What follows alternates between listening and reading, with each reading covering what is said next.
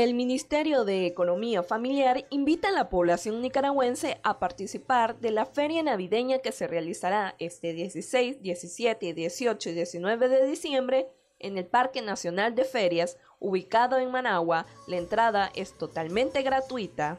Se estarán desarrollando actividades como eh, para, para adornar mi nacimiento en casa, eh, degustaciones de diferentes platillos eh, de temporada navideña. Eh, tendremos lo que es tardes de juego, música, tardes de villancico. Estarán presentes más de 150 protagonistas que ofertarán sus productos con grandiosos descuentos y promociones.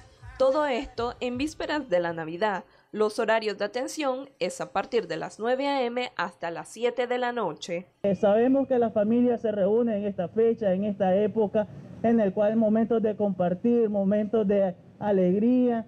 igual qué mejor pasarlo en familia y visitar lo turístico, lo nuestro, lo único, lo nicaragüense.